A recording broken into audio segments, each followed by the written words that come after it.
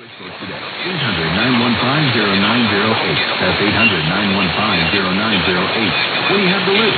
Call 800-915-0908. Again, 800-915-0908.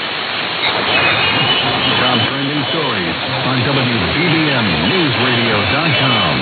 The weather continues to present danger in the Chicago area. The National Weather Service is warning of possible icy conditions over the next few days, caused by a mix of rain and freezing drizzle.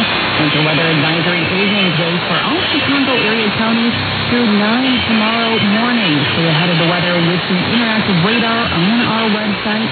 You can find it in the weather tab.